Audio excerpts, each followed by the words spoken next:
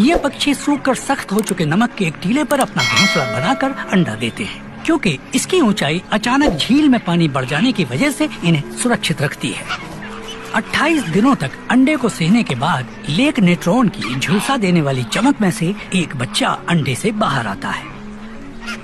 यहाँ तापमान 55 degree Celsius तक पहुँच सकता है, लेकिन माँ के पंख इसे सूरज की धूप से बचा सकते हैं।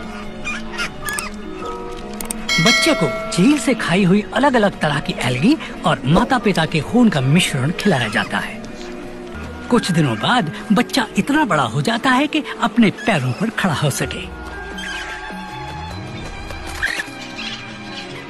और फिर एक बड़े से झुंड में शामिल हो जाता है, जिसमें हर उम्र के बच्चे हैं।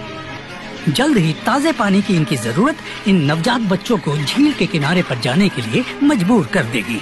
और ये सफ़र इन्हें पैदल ही पूरा करना होगा, क्योंकि इनके उड़ने वाले पंख अब तक निकले नहीं हैं।